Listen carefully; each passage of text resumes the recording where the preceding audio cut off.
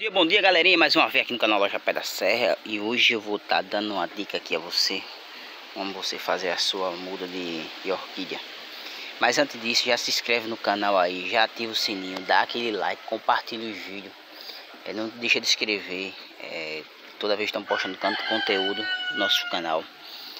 É, Hoje vou estar tá dando uma dica super importante a você Como você fazer a, a muda da sua orquídea Muitas vezes você está com a sua orquídea em casa, ó. Desse jeito aqui.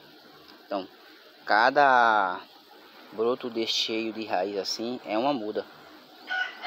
Eu cortei um aqui, ó. Cortei um aqui, amarrei, ó. Que é para raiz fixar. Cortei agora mesmo ainda, tá verdinho ainda. Tá vendo? Fixar aqui. Porque eu tô botando numa palha, numa casca do, do coco seco. É bem melhor, que ele vai criar raiz ele aqui vai fixar a raiz aqui nessa casca do coco. E aqui, quando enraizar, eu posso botar numa caqueira para a orquídea e preencher ele com mais substrato. E aí ela vai desenvolver, vai ramar, que essa orquídea aqui é aquela que rama. Ele bota essa rama aqui, né?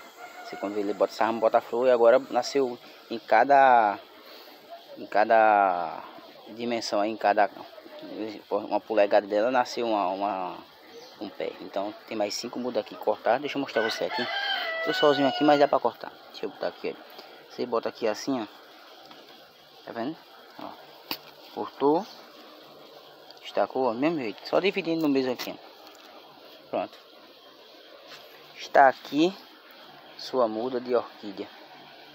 Aí agora é só pôr nas caixas de coco que eu tenho, ó deixar ela enraizar e depois para as caqueiras. Daqui a um ano você tá com sua orquídea botando flor.